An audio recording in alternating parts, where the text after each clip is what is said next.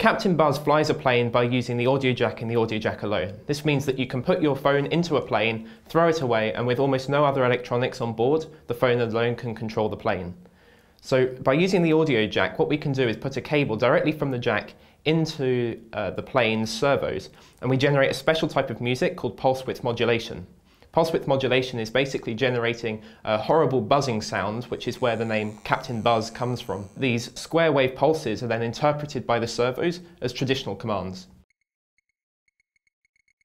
So one of the initial problems that we had with Captain Buzz was that while she flew, she flew badly and would struggle even to fly straight and level. So I was tasked with trying to reduce the lag in order to make Captain Buzz fly much better so that she would turn from a pregnant duck into a fighter pilot.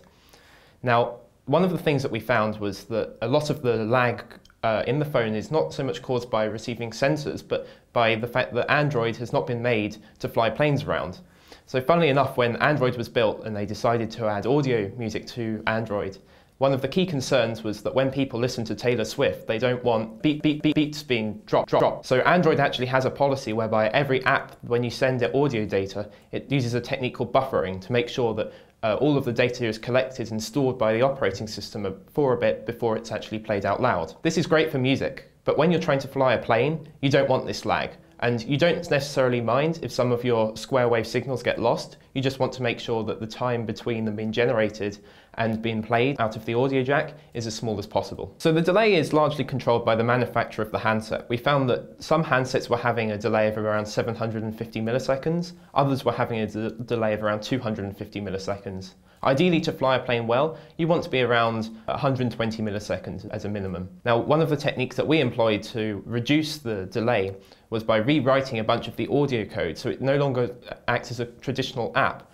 but it's written using the C programming language. This means that we can avoid all of the buffering policies which are put in by the manufacturers and directly generate sounds which are sent out to, to the servos. So one of the things that we found is uh, when writing all of the audio generation software in C, we have a trade-off because we want to make sure that when we generate all these square waves, they align well to the natural buffers inside the audio controllers built into the hardware. So we've actually made some changes to pulse width modulations. The buffers inside the phone are aligned in a multiple of 18. So one change that we've made is rather than generating pulse width modulation signals, which repeat every 20 milliseconds, ours repeat every 18 milliseconds. So we can fill a hardware hardware buffer, which means that we can reduce the lag even further. I have the Android Wear watch. Because we've used the Android operating system in order to write our app, uh, we can then write a very small amount of code in order to get the app also work on the watch, which gives some, uh, some really cool features which you just don't see on other ways of making drones. As well as the time, we also have the current flight plan.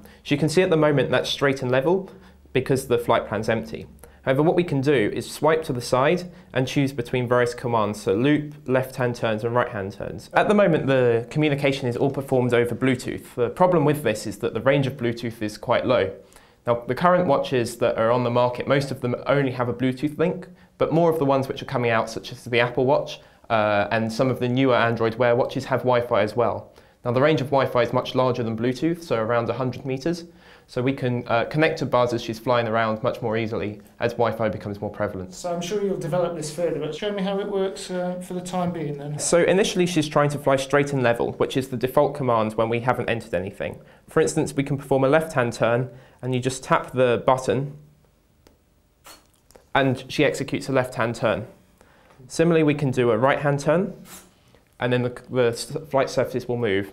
Now if we scroll back, you can see now that she's banking right for, for five seconds, then left for five seconds. And she just keeps repeating this flight plan. So in the air would be banking left, then banking right. A cool feature which I've added is actually the ability to send commands to Captain Buzz.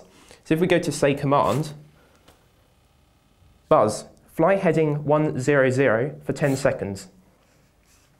And then it understands the command I've sent, sends it to the plane, and then if we go back to the flight plan, you can see she's now flying heading 100 degrees for 10 seconds. And then after that, we'll go back to doing the left-hand turns and then right-hand turns. Now, one of the other nice things that we can do is get Buzz to perform aerobatics. In particular, Buzz is now able to fly loop the loops really well. So you just loop the loop all on around. So we can even command these from a watch. Buzz, fly in a loop. And as it processes the command, then when it's finished its current thing, you can see the servos have just pulled back So Buzz is uh, trying to pull back like this, fly over, and then she comes out of the loop and tries to fly onto a heading. What's next for Buzz then?